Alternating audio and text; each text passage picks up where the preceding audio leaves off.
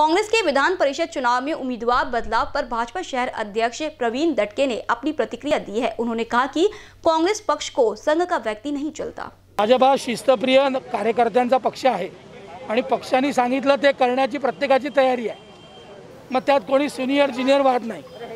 त्यामुळे ते नियतशीर आम्ही सगळ्यांनी पाळलं. आज आम्ही सगळेजण मतदान आटोपतो आहे.